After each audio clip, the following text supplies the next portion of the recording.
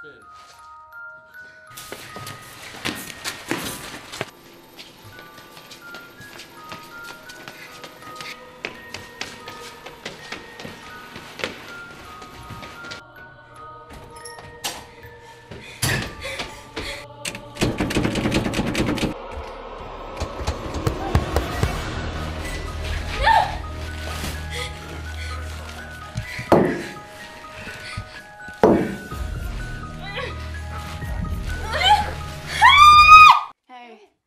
I just had the weirdest dream ever.